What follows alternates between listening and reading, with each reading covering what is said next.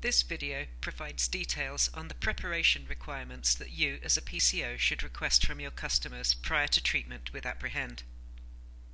Aprehend is applied in 2 inch barriers that should be placed strategically between the bedbug harbourages and the human host. This strategy is far easier to implement if the room to be treated has been carefully prepped prior to your arrival. However, even in more challenging situations, Aprehend barriers can be placed and bed bugs can be brought under control.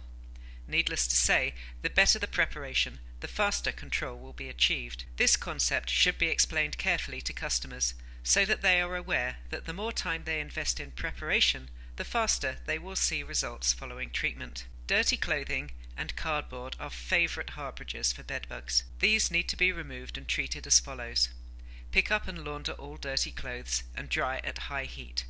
Dispose of cardboard packaging and other trash and unwanted items. Clear all items from under the bed and keep this area clear for at least two weeks following treatment to avoid introducing access routes to the bed that might enable bedbugs to avoid the spray barrier. Strip the sheets and all bedding items and place in large garbage bags for laundering. All bedding materials, sheets, pillows, comforters, blankets, and bed skirts must be laundered and dried at high heat for at least 40 minutes. After laundering, place all clean bedding in a large garbage bag and seal with a knot at the top. Place all items for disposal in a separate garbage bag. Seal and dispose of in the trash outside of the house. Remove and launder all clothing items hanging on chairs. Remove unwanted items from desks and tables. All furniture, including chests and bookshelves, should be moved approximately 3 foot from the wall to allow access to the rear of the furniture and baseboards. Do not rearrange furniture to different locations. Try to keep everything as close to its original location, but moved away from the wall to allow access. Following treatment, all furniture, with the exception of the bed, can be returned to its usual position against the wall.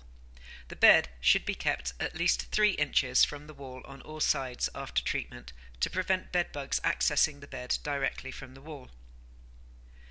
Cabin beds provide multiple harbourage sites for bedbugs and require more preparation work than standard beds. Remove the contents from drawers and cubbies.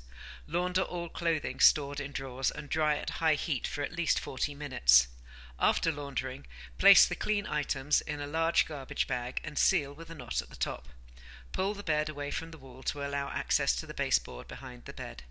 Following treatment, the bed can be moved back towards the wall, but be sure to leave a gap of at least 3 inches between the bed and the wall to ensure that bed bugs cannot use the wall to access the bed.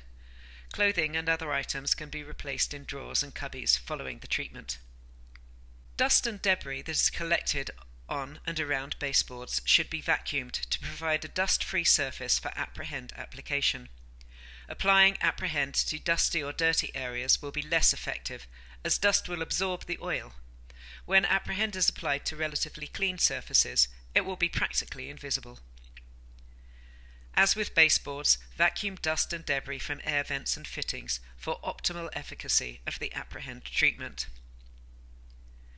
A perfectly prepped room will have all furniture moved away from the walls, the floor will be free and clear of clothing and clutter, and the baseboards will be vacuumed to remove dust.